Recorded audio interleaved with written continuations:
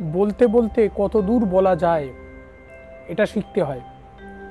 কাউকে অপমান করতে করতে কত দূর বলার পর থামতে হয়, সেটা শিখতে হয়।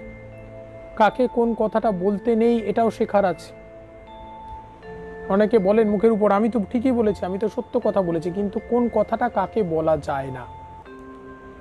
কোন সম্পর্ক স্বামী স্ত্রীর সম্পর্ক, স্বামী স্ত্রীর সম্পর্কের ক্ষেত্রে কোন কথাটা বলা উচিত, একে অপরকে বলা অনুচিত? এইগুলো একটা জীবনের বড় শিক্ষা, যেটা কোনো স্কুল, কলেজে শেখানো হয় না এটা কোনো ইউনিভার্সিটির সিলেবাসে নেই।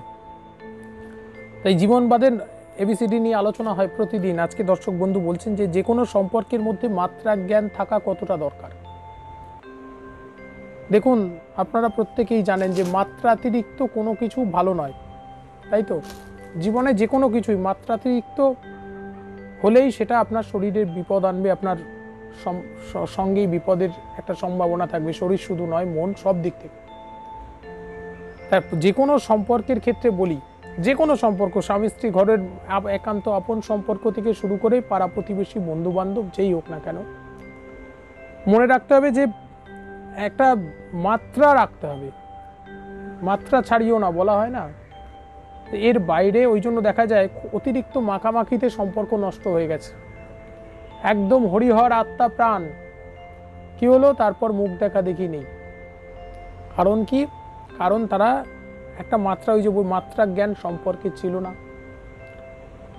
প্রত্যেকে নিজের সম্মান পেতে চাইলে অন্যকে সম্মান দিন। তার সঙ্গে এমনভাবে মিশুন, অতিরিক্ত মাখামাখি না করে একটা মাঝখানে বর্ডার লাইন রাখুন। এতে আপনারই ভালো হবে। এতে আপনারই লাভ হবে। এটা কিন্তু করে দেখলে বুঝতে পারবেন। আর আজকের জগতে তো স্বার্থপরতা শুধু না, সেটা ঘরে বাইরে সব জায়গায়। সবাই শুধু আত্মস্বার্থ বোঝে, সবাই শুধু নিজের স্বার্থটা বোঝে। তো সেখানে দাঁড়িয়ে এই যে আঘাতগুলো পাওয়া, কষ্টগুলো পাওয়া, এগুলো খুব স্বাভাবিক একটা ব্যাপার। তাই দুঃখ পাওয়া নয় যে কোনো সম্পর্কের মাঝখানে একটা মাত্রা জ্ঞান এমনকি যারা প্রেমিক, প্রেমিকা, তাদের উদ্দেশ্যও বলব এত ভালোবাসা, ভালোবাসার জোয়ারে ভাসতে গিয়ে যেন মাত্রা জ্ঞানটা হারিয়ে না যায়। ওই জন্য দেখা যায় অধিকাংশ লাভ ম্যারেজ কথাটা সকলে নয়, ব্যতিক্রম থাকে।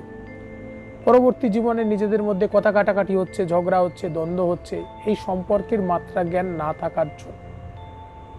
পারস্পরিক শ্রদ্ধাবোধ না থাকার জন্য। এমনকি ডিভোর্স হয়ে যায়, সম্পর্ক ভেঙে যায়। এত প্রেম বাড়ির অমতে গিয়ে পরিবারের লোক, জন্মদাতা, পিতামাতাকে ভুলে গিয়ে যারা হাত ধরে, তারাও সম্পর্কটা ভেঙে ফেলে। এরকম হয়, যে কোনো আপনি আপনার অফিসে, আপনার বন্ধু বান্ধবের জগতে, আপনার কর্মক্ষেত্রে নিজেকে সম্মান দিতে চাইলে আমি বলব, একটা মাত্রা জ্ঞানটা বিচার করবেন। সব সময় আর মাঝখানে একটা বর্ডার লাইন কার উপরে আমার যাওয়া উচিত নয়। এই একটা নির্দেশক রেখে চলবেন, আশা করি ঠুকবেন না। আজকে এখানে শেষ করছি। আবারও আলোচনা হবে। সঙ্গে থাকুন, স্বস্তি বার্তার সঙ্গে থাকুন। অনেক অনেক ভালো থাকুন।